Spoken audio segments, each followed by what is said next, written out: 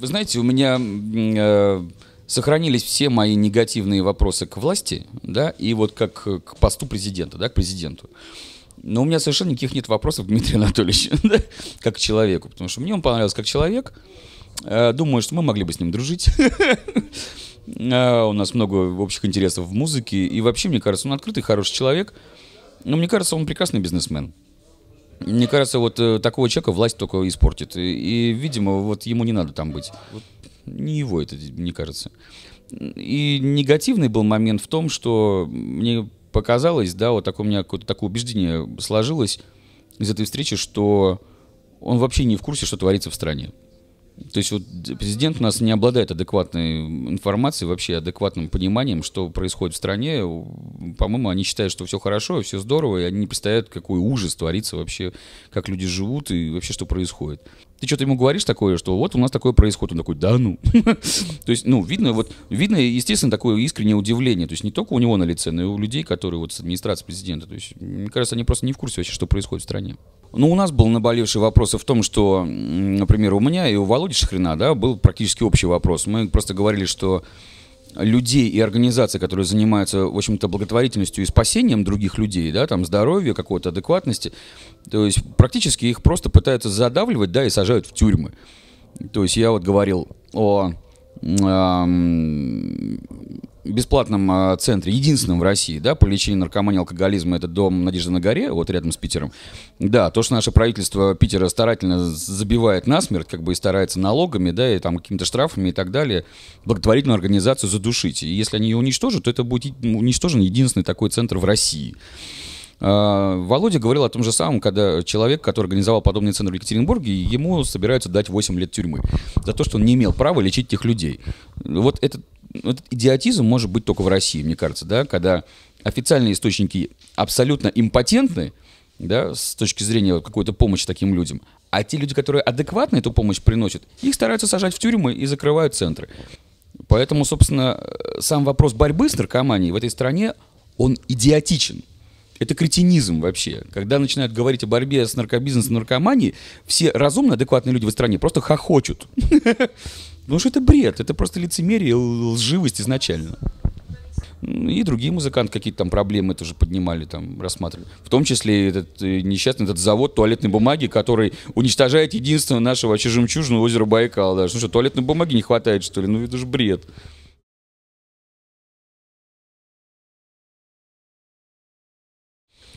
Ну, это было предсказано много тысяч лет назад, на самом деле. Больше 15 тысяч лет назад наши же предки, да, как бы, ну, по крайней мере, которые жили на этой земле, да, вот славянские, э, как бы, так сказать, народы, они предсказали, что вот примерно вот спустя там, 15 тысяч лет, вот как сейчас, собственно, люди, которые должны нести духовное знание, будут продавать его за деньги, да, и заниматься бизнесом исключительно, да, и хапать его, как бы, деньги и пытаться, то служить золотому тельцу, поклоняться. А духовное знание будут нести шуты из комарохи. Это было предсказано. Собственно, так и получается. И получается так, что люди, которые стоят у власти, да, в этой стране пока что, почти 80% из них, э, значит, э, собственно, обладают комплексом нищего человека. Они выросли в нищем советском государстве, да, они были рождены э, в рабочей крестьянской среде, и поэтому, естественно, вот этот вот комплекс, да, с детства, он все равно же не оставляет человека они давно утеряли понятие там, той же самой чести и достоинства. Но вот над такими вещами, да, вот люди посерьезнее, да, как у нас считают, да, в пиджаках, они начинают смеяться, когда начинаешь им говорить о морали, о нравственности, чести и достоинстве, да, какой-то. Они просто начинают тебе хохотать в лицо. Илья, о чем ты говоришь? Да, ты чего? Как бы это повод для шуток у них. И мне кажется, у такого государства просто нет будущего. Вот и все. И, и пока эти люди окончательно не уйдут, ну просто не умрут, да, естественной смертью, грубо говоря, вот пройдет 50 лет, они все перемрут, придут новые люди, у которых уже не, не будет такого комплекса, которые не будут рождены вот в этой вот э, рабоче-крестьянской среде, вот это под котлами, как говорится, да, там, и у них будет больше шансов на это.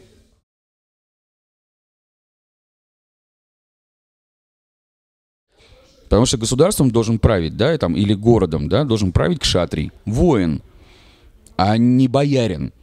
Опять же, потому что если боярина посадить, вы получите вторую Москву, то есть большой черкизовский рынок. которую там полная Разгуляева, да, там на каждом повороте шлюхи стоят, как бы, никакой моральной, никакой нравственности, но зато все в золоте купаются. Вот вам пример, когда боярин сел на трон. Кшатрий, воин должен стоять вот на троне. И кшатрий должен слушаться брамана, советника, мудрого человека, просветленного человека. Не человека, у которого есть пост. Я там официальный, там вот больш, самый, у меня большой, самый большой золотой крест на, на шее, да, и поэтому я самое главное в этой стране духовное лицо. Нет. Ты должен слушаться настоящего, мудрого, просветленного человека. Он должен быть у тебя советником, а не человек, который внешне обладает этими атрибутами. Это практически возможно, если только... Да, если только, например, Владимир Владимирович, да, как бы Путин, или там Дмитрий Анатольевич Медведев вдруг поймет, что это очень важно, и об этом говорят все самые разумные люди, адекватные в этой стране, и он наконец-то их послушается все-таки, да, и он действительно поймет, что есть люди, которые знают, как это сделать, как поднять эту страну, как сделать так, чтобы мы жили в мире, в много, многонациональном мире, да, в этой стране. У нас будет много, очень богатая, разнообразная, множественная культура. У нас будет много э, религий. И все будут жить в мире, в согласии. И работать, и что-то делать ради единой идеи. Эта единая идея будет содружество. Это будет действительно настоящее содружество, основанное на любви. Это возможно.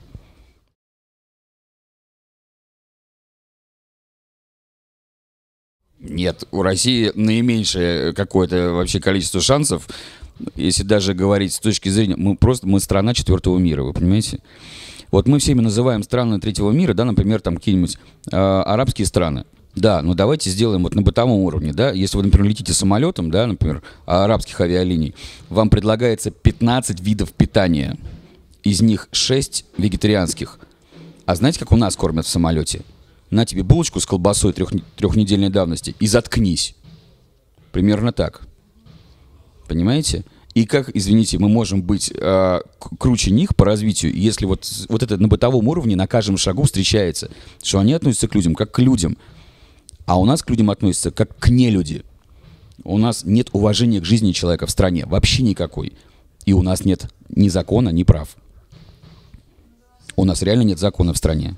Один разумный человек сказал, э, сейчас вот не буду врать фамилию, могу потом поискать, даже самому интересно.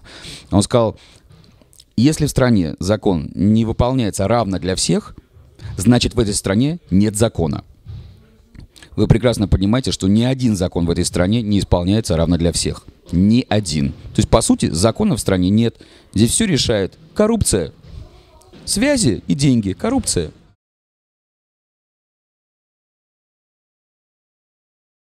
У нас этот вопрос национальный, да, он очень остро стоит вообще. То есть, о чем мы будем делать?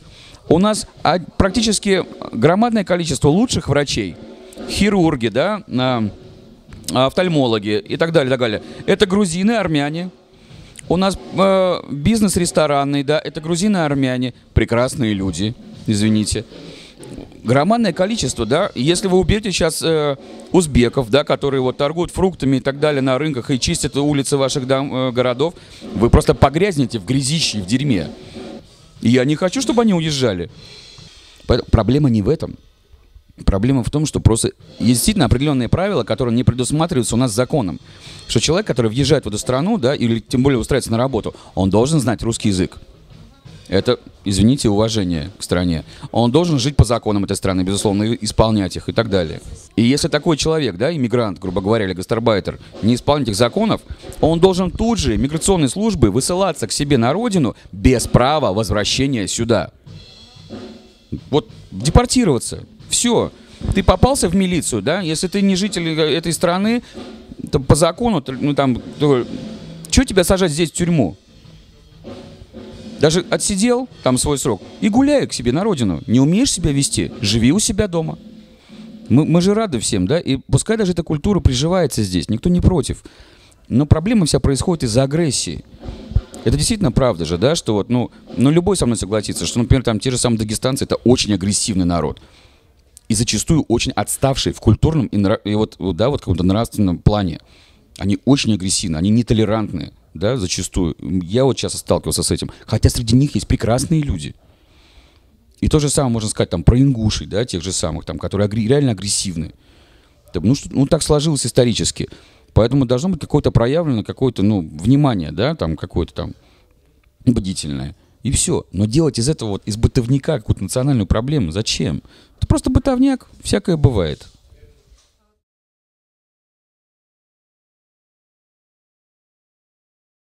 Да молодежь просто э, откровенно скучает, это раз. Им просто некуда приложить свою силу, это раз. Да, у них нет никакой идеи, ни цели, ни идеи, ради чего жить. Когда на улицу свободно выходят бритоголовые парни, да, э, с фашистским приветствием, да, и выкрикивают фашистские лозунги, мне кажется, это не построение гражданского общества, а построение совершенно обратного, то есть фашистского государства. Это фашизм. Это Хай Гитлер. Чтобы ну, там, понимать четко, да? И мы только что потеряли 20 миллионов, как говорится, на войне с этими самыми нацистами. То есть либо у нашего народа память коротка, либо у нас э, молодые парни, да, и девчонки, которые участвуют в таких движениях, они не очень-то чтут э, честь своих мам, пап и дедушек и бабушек. То есть, по сути, они плюют им в лицо. Потому что их собственные родители, да, их собственные семьи, их собственный род потерял людей в этой войне. И когда человек после этого одевает, да, вот вот какую-то там вот эту вот э, неофашистскую форму, да, бреется на лысо и идет как бы кричать э, какие-то нацистские лозунги, вот именно такой вот, национал-социалистический, неважно. Немцы кричали, что мы за немцев, и русские кричат, что мы за русских. А нацизм есть нацизм. Вот если... Да, за нашу свободу. За какую? За чью нашу? То есть, извините, но э, если ты, например, у тебя мама э, узбечка, да, папа украинец, дедушка из Татарии, да, а бабушка мон, э, там из Монголии, то кто ты наш? А где тут наши? Здесь наших-то и нет. Ну, ну это же смешно. Это идиотизм ситуации в стране.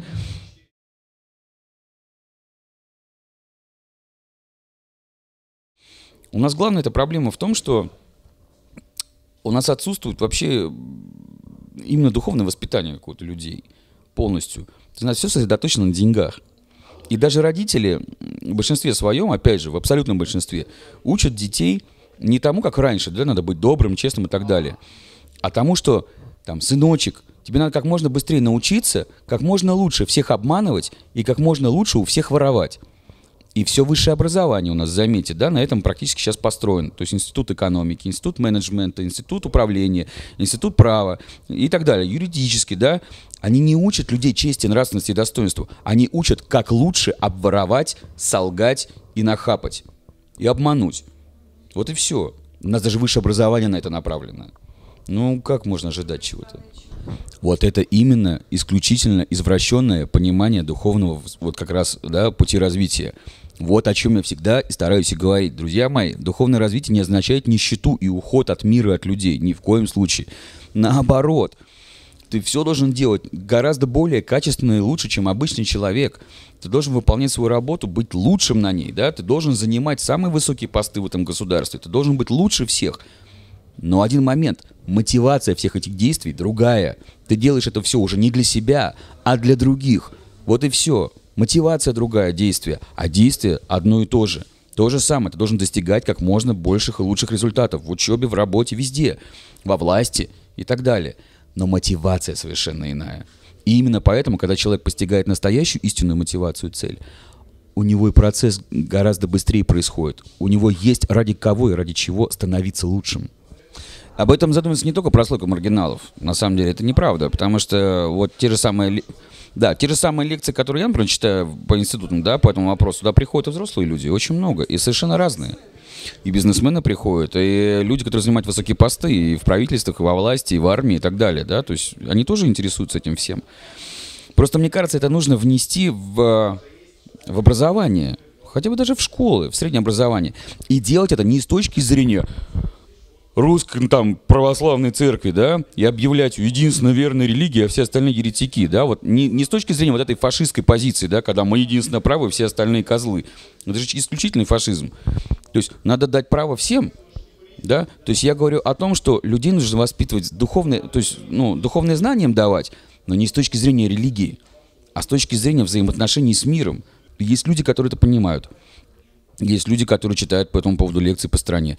В конце концов, если не можете в свою школу пригласить такого человека, их мало, да, поэтому они все на расхват. А, ну, действительно. Не, ну реально их десятки, да, по стране, буквально там. в конце концов, у них куча видеолекций.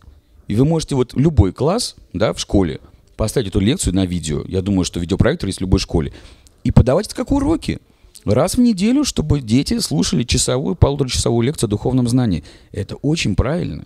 Главное, что я, я не выступаю против религии, да, наоборот, я считаю, что они нужны. Но я против позиционирования их как единственного возможного пути. Вот, потому что это неправильно. Э, то есть это должно, какие-то истины должны даваться, да, э, пускай будет урок, действительно, там, кто хочет, будет ходить на урок, там, православия, и тут же будет урок, например, по исламу, почему нет? И по буддизму, пускай дети в школе изучают эти религии. То есть не батюшка приходит и говорит, извините, сейчас я тут все расскажу, а вы пойдете в церковь нести нам деньги, да, как бы это пожертвование. Вот. А чтобы у них, они изучали историю религии.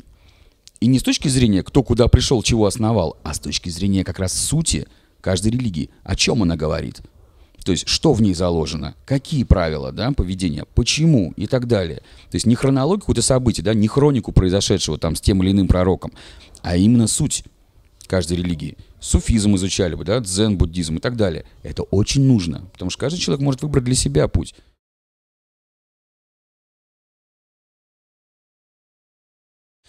Знаете, я э, хочу пожелать этой стране одну такое, да, даже просто напоминание хорошее сказать. Э, просто я очень люблю писателя э, Курта Ванигута. У него есть прекрасная фраза, я вот буквально вычитал, э, перечитывал книжки его пару дней назад. Он сказал, святой понятие святого, да, вот как у нас на Руси любят говорить, святой человек, да, так вот святой человек – это тот человек, который остается порядочным, даже когда окружен непорядочными людьми и находится в непорядочной ситуации. Вот эти люди святые – так вот, они вокруг вас находятся, они находятся не на картинках, не на иконах, не, как говорится, не с какими-то атрибутами, да, своей святости, а это просто обычные люди вокруг вас. И не, не важно, какой они национальности. Просто есть действительно святые люди, порядочные, а есть непорядочные. Вот и все.